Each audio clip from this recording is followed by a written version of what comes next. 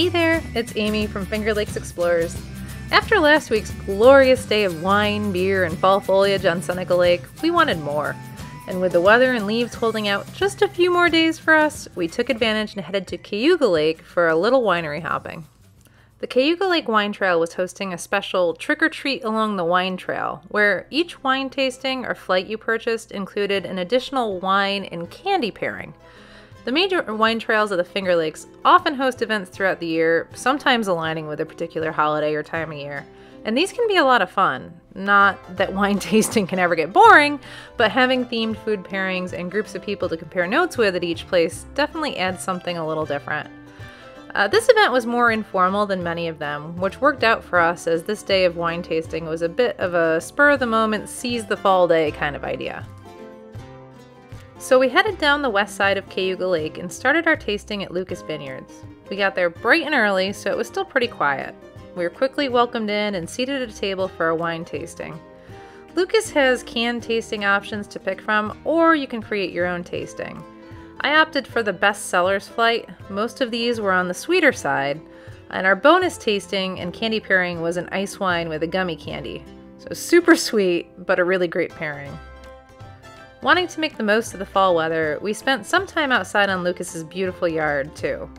There were several picnic tables and Adirondack chairs on the lawn. You can do your wine tasting outside or just grab a glass of wine and take in the view.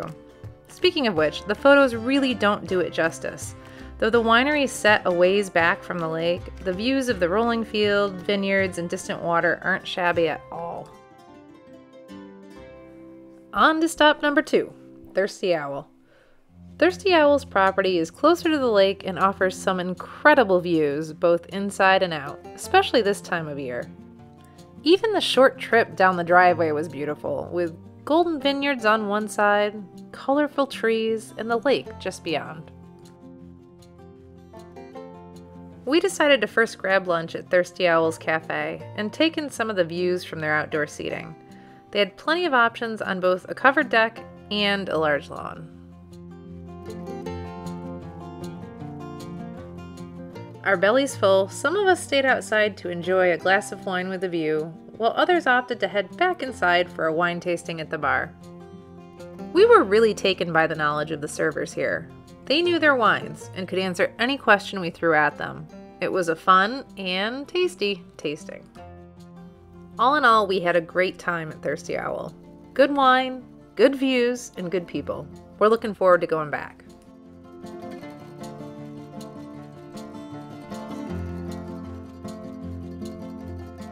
Continuing north along the lake, we headed to our next stop, 680 Cellars.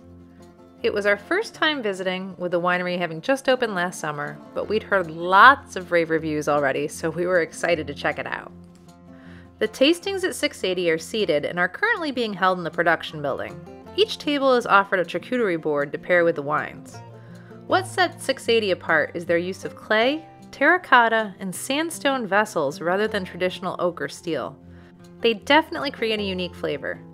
We were able to sample some of their 2020 Pinot that was aged in sandstone and compare it to the same wine aged in oak.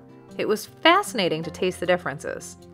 Our server here was incredible and guided us through the tasting experience so adeptly.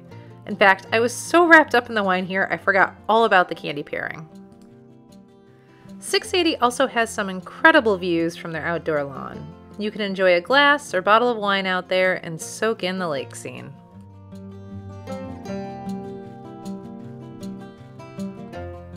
Last but not least on our tour was Buttonwood Grove Winery.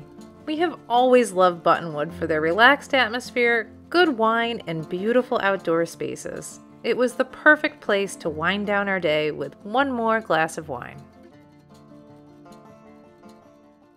What a fun fall day exploring wineries on Cayuga Lake. What are some of your favorite wineries to visit on Cayuga Lake? Let us know in the comments below. And don't forget to subscribe to stay up to date on our latest videos. Thanks for watching!